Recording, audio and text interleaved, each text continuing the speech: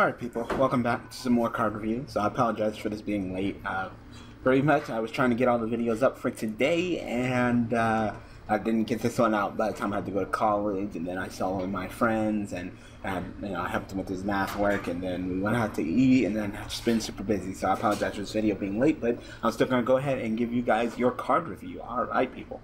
So uh, let's go ahead and get it started. So today we are looking at Fire King Island. All right, so we looked at some of the Cyber Dragon uh, support, you know, and uh, we're gonna be looking at the Fire King support. So it seems like you know decks that you know structure decks that had some support in the past, you know, structure deck. It's I guess in OCG it's time to you know tune them up, give them some new things to work with, you know, see if they can bring them up. You know, because it's definitely something that you see in the OCG. The OCG's you know kind of meta kind of game is hey if we, you know, take things off the ban list and we try to make everybody on the, you know, even level, everybody strong, everybody's strong, very, very, you know, very communist over there. But over here in uh, the TCG land, it's like, hey, you're gonna spend a thousand dollars on this best deck. You're gonna like it. All right, we're sick of it. Hit it.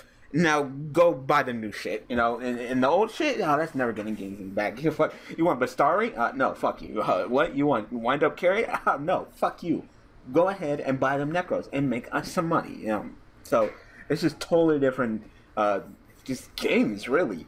And um, of course, you know, Fire Kings that got some more support, and you know that's not exact that you would ever see get some more support. You know, unless Konami is planning on selling some more of that structure. But you know, so uh, Fire Kings that got a field spell. I know, interesting. You know, I never really thought that was a you know the deck to kind of get the field spell.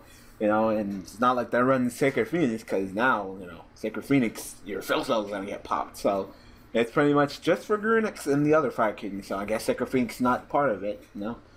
Anyway, we're going to go ahead and look at the field spell, and, uh, you know, it's been a couple, a little bit of talk about it. I'm going to go ahead and give my opinion. You know, I played Fire Kings in the past, and you know, Fire King Yubel, my friend Fonzo plays Fire King, so I know the deck pretty well.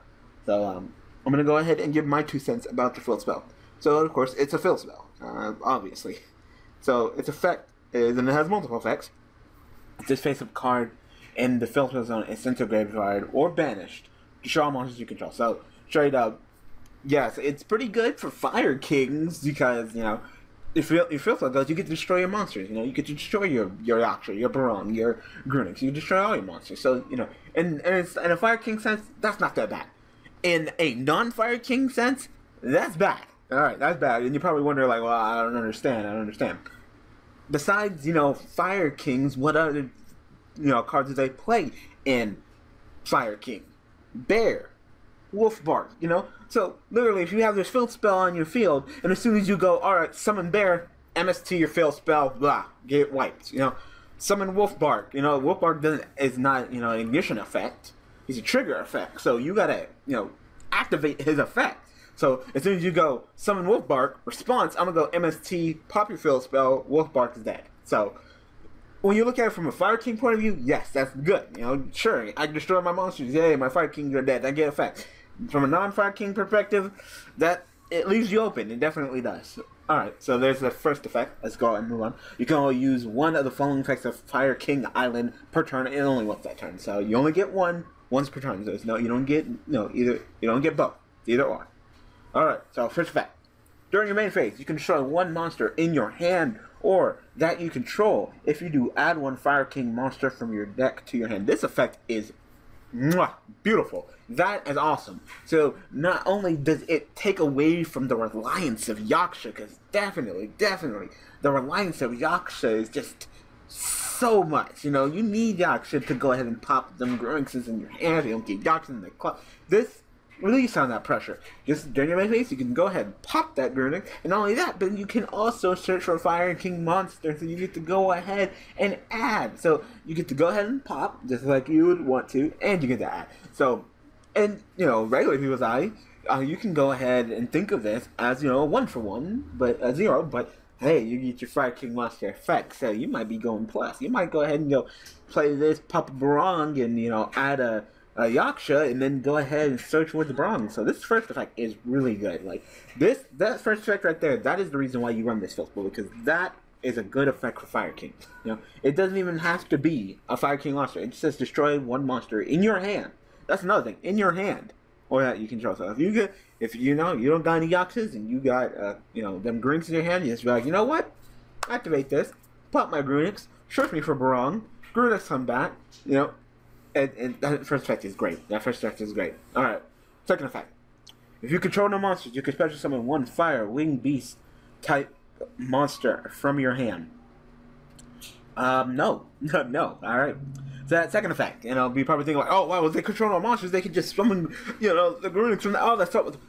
I, the thing is, I don't understand why would you you would ever use the second effect, or if you control no monsters, you can special. I don't understand why you would ever use the second effect when the first effect does what what you want better. If I have a Garunix in my hand Instead of going like, well, you know, I control no monsters, special some Garunix, I could just be like, you know what? I don't give a shit if I control monsters or not. Use the other effect, destroy the Garunix, search, Garunix gonna come back anyway and wipes the shit. I, I, you know, I don't really get the first effect. I mean, the second effect. The first effect is one you go with, and this card would be just as fine if it was if it didn't have the second effect. Like, I, I, I don't know what they were you were going with with that. You know, I mean, I get it. You can special summon the Garunix from your hand, and the first effect, I can destroy the Garunix in my hand, and then I get to summon. Like, if this said, like, you know, during your main phase, you destroy one monster you control, and then it had this the second effect, I'd be like, all right, all right, I see. So, you know, you control no monster, special summon the Garunix from your hand, the next turn you can go ahead and destroy the Garunix that you control, and then search for a factory card. All right, I get it. But you can destroy the monster in your hand, so I don't understand the point uh, special summoning the Garunix from your hand when you can destroy the Garunix in your hand and then it can come back and it can blow up everybody. I, I, I don't get the point of that second effect. So, overall, what do I think of this card? I think it's good. I think it's good. I say Fire Kings, you should play it. You know, it helps with your consistency, and I'm all about consistency. Consistency, consistency, consistency. It's one of the reasons why Nekroz are so fucking good, because they have high consistency. Your deck, your consistency is okay, but this only helps. It only helps. You know, you got you, you got the Deoxys, you got the Tenki, but then you got this. If you really want to go all the way, you can go ahead and run the Terraforming, but this helps your consistency. So I definitely recommend you guys run it. Be careful of the first effect. You're probably not going to be using much of that second effect, but that that first, that middle effect, you know, that, that middle effect right there, that's the, that's the golden ticket. All right, people. So go ahead and tell me what you guys think about Fire King Island in the comment section below. So I hope that you guys enjoyed this episode of Card Review. So thanks for watching. Thanks for all the support. And I will see you guys next Tuesday with another card to look at. All right, people. Thanks for watching.